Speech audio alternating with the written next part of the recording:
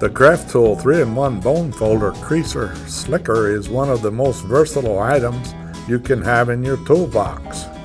This durable nylon plastic tool is practically indestructible and it can do many jobs with ease.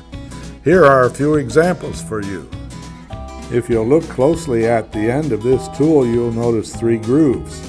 The groove in the center is for edging or edge slicking on a belt or other 8 to 9 ounce leather.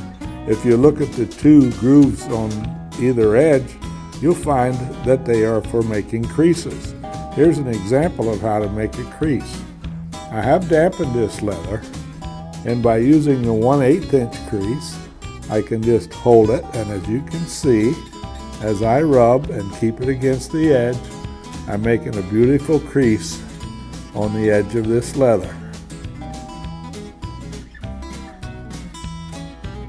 Proper moisture content is kind of important here. I put the water on and then I let it set for a while until it gets soak in and give me a nice crease. You can do this for both 1 8 and 3 32nd. The end with the slickers is also removable. It's just a matter of pulling it off and now it makes your bone folder easy to use. I'll put my straight edge on here where I have a gouge on the underside and with my bone folder I can lift it up and roll the edge as you can see. You can do this in either direction. If you would uh, like to make a wider crease on your leather, it's just a matter of using a straight edge and then use the blade of your creaser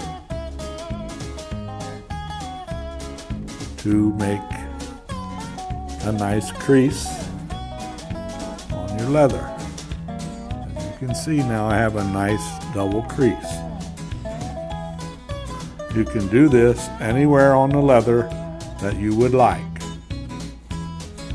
Using the center part of the large end as you can see I can use it to burnish the edge on 8 to 9 ounce leather.